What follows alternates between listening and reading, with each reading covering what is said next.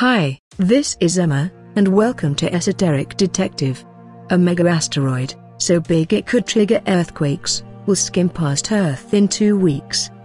The potentially hazardous asteroid is so big that some claim it could trigger earthquakes or volcanoes on Earth.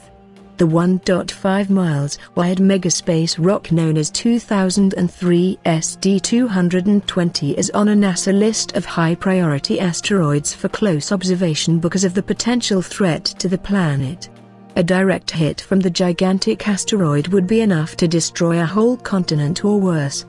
NASA and other astronomers have a list of 17 high-priority near-Earth asteroids which have been or will be monitored by radar as they get close to the planet in 2015.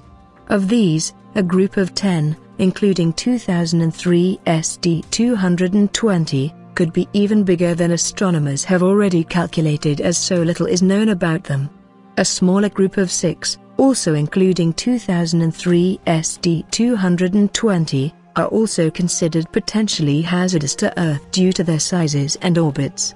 This is because they could be darker than initially thought and could therefore have some of their bulk obscured by the darkness of space. What do you think is happening lately, with all the asteroids passing so close to Earth? Do you think the governments should allocate more money to monitoring these massive world-ending asteroids? Or is it nothing to worry about?